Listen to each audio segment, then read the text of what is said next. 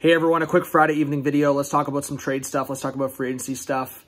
Martin Necas, I'm not going to waste any time here talking about the Boston Bruins and Vancouver Canucks. Both teams, heavy interest in Martin Necas. Elliotte Friedman talked about Martin Necas rumors, and specifically with the Vancouver Canucks targeting him.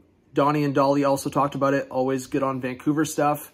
Apparently, Martin Necas was definitely involved in the Elias Pettersson offers from Carolina during the season, and that Vancouver will be going after him this offseason. Boston apparently was mulling an offer or mulling trade conversations with the Carolina Hurricanes for Linus Ullmark before the deadline.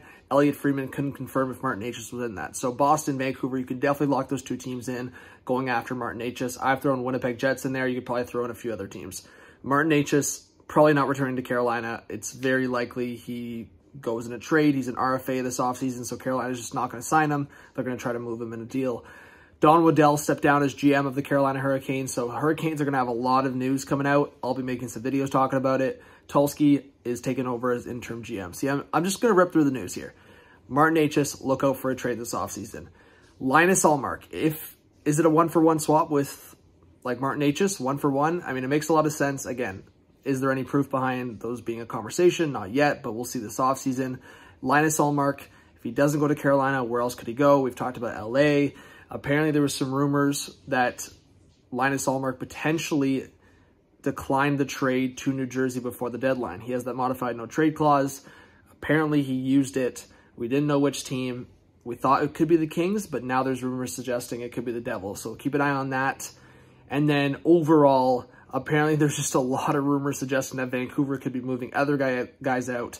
Filip Hronek needs a new contract. There's rumors that maybe Vancouver moves on from him. I think that's the dumbest thing I've ever seen. Quinn Hughes, Norris type year, played so well with Hronek. While Hronek, Hronek's offense dropped off in the second half of the year, I still think he's a guy you should sign long term.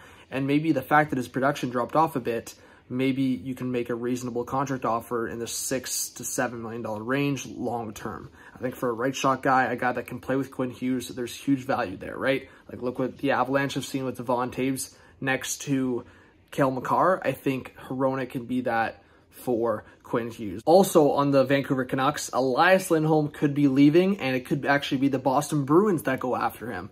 Elliotte Friedman's talked about Elias Lindholm being a big target for the Boston Bruins. Over the last like couple years, I've talked about Elias Lindholm potentially going to the Boston Bruins. They already have Hampus Lindholm, whether it's a seven-year deal that Boston offers them, or, I mean, it doesn't happen often in the NHL. A sign and trade could work here.